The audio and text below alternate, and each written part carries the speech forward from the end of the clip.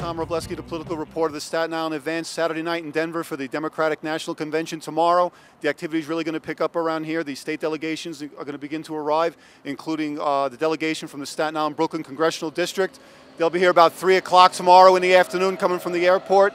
Uh, the big event tomorrow is at 5.30 in the Sheraton Downtown Hotel where we're staying, which is when uh, Assembly Speaker Shelly Silver will host a welcoming reception for the New York delegation, which is expected to draw Governor David Paterson, uh, Senator Chuck Schumer, even Senator Hillary Clinton. So please make sure you tune in to PolitBureau, SILive.com, and to keep up on everything happening in the Mile High City.